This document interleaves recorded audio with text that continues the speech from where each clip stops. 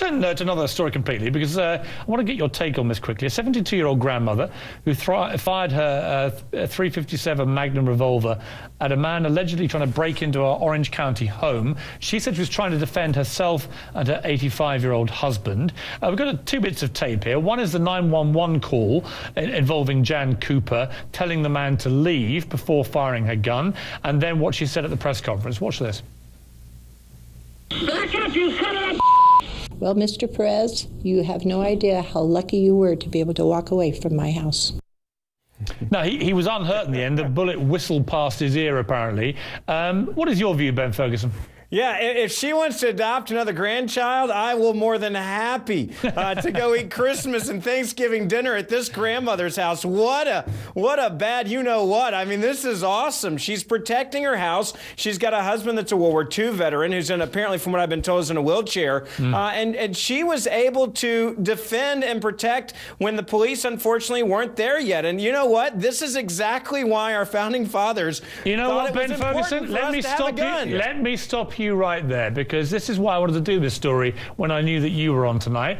I completely and utterly agree with you. This is exactly what I You're, think the I'm Second Amendment you. is actually about. It's about an elderly couple who had a handgun that was duly, legally registered for 20 years, kept safely. An intruder breaks in, ignores a warning, and she fires a, a shot, and the man uh, is arrested. Turns out he's a serial burglar but, and intruder. But Jeffrey, isn't, isn't that, that what the founding fathers, Jeffrey, intended the Second Amendment to mean. Th this is an example of how much the debate has changed in this country. In 1968, when Robert F. Kennedy was assassinated by Sirhan Sirhan with a handgun, the reaction was, the Gun Control Act of 1968 ban guns as much as possible. Now the reaction is whenever somebody, as as Wayne LaPierre says, the only cure for a good guy, bad guy with a gun is a good guy with a gun. The Amen. idea that more guns make us more safe mm is so deeply ingrained now. But I think it's worth pointing out it's a very different attitude than it used to be. I, I agree. And, I, by the way, I completely agree that the more guns, less gun crime thing is complete nonsense. Uh, however, I do think. It depends uh, on who has well, the guns, well, though. well, here's the point I made, Ben.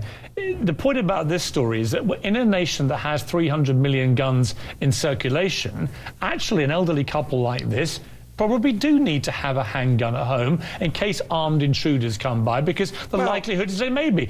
That's, that's a different argument it, to me to the one that we have regularly about mass shootings and the rest of it with AR 15 assault rifles and high capacity magazines and so on. And the reason I wanted to talk about this story was to make the point that I think this kind of situation is exactly what the Second Amendment was actually intended for. And, and it goes back to the core of background checks and everything else.